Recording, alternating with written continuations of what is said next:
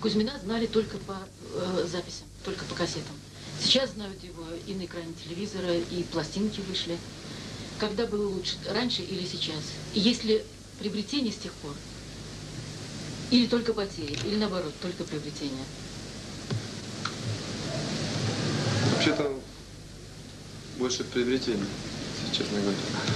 Хотя, в общем-то, те поклонники, которые слушали только на кассетах, когда меня еще не показывали по телевидению, пластинок не выходили, они сами самые верные. 6-7 лет. Ленинград такой хороший показатель. Кстати, Ленинград первый снимал вас, вы помните? Да, Ленинград первый снимал. В общем-то, такой город, куда всегда с удовольствием приезжаем. Ну, так сложилось, что в общем, здесь нас любят даже больше, чем многих ленинградцев. Здесь как родные. Поэтому всегда в город с удовольствием приезжаем. Конечно, были сложности в связи с какой-то массовой такой. Сейчас опять особенно мне много не показывают по телевизору. Сейчас. И все, в общем-то, возвращается на свои круги, мы играем общем-то, такую музыку, которую мы хотим. Все, поэтому считаю, что только приобретение. Я имею в виду творчестве.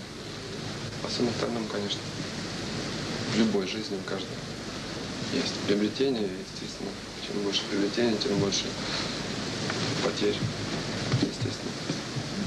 А нет ли вот такого чувства, что э, с, те- с тех пор, как много стало всего и пластинок, и, в общем, что-то, что потерялась какая-то э, искренность, что ли? Нет, искренность меня никогда не терялась, потому что все, что я делаю, это всегда все искренне. И наоборот, я считаю, что мало. Потому что все, все равно очень странно.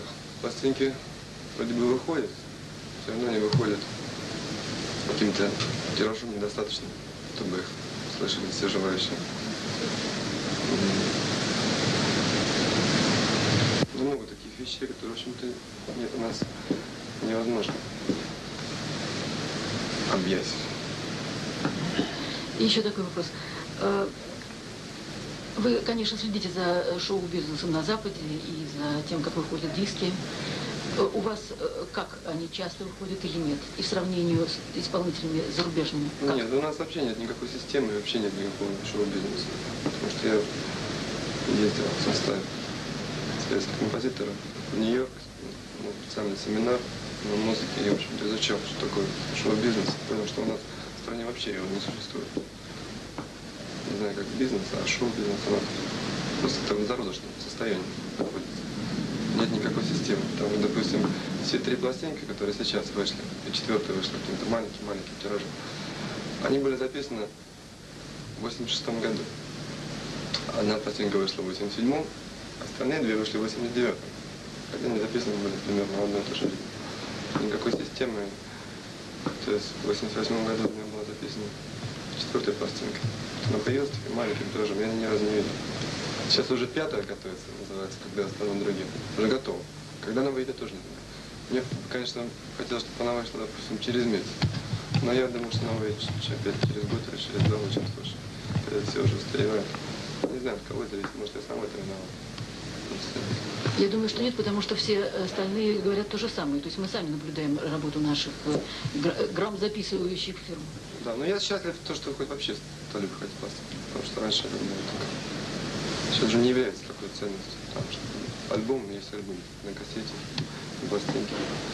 Тем более уже на всем мире уже от виниловых дисков отказываются, к сожалению. А когда мы будем выпускать компакт диски, это неизвестно. Так что вообще неизвестно, что с этим будет происходить.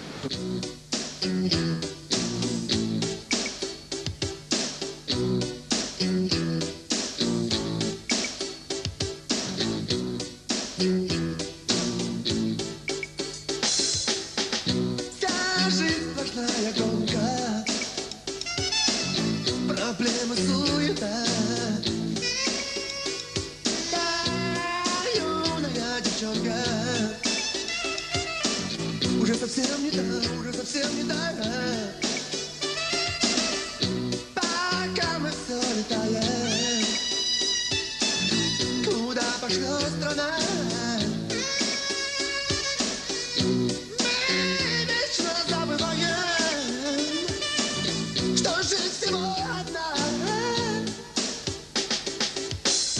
Позвони мне среди ночи, Ворвись в мой беспокойный сон. Из Мурманска или из Сочи, Москву, в Тамбов и Вашингтон. Ты позвони мне среди ночи, Ворвись в мой беспокойный сон. Из Мурманска или из Сочи, Москву,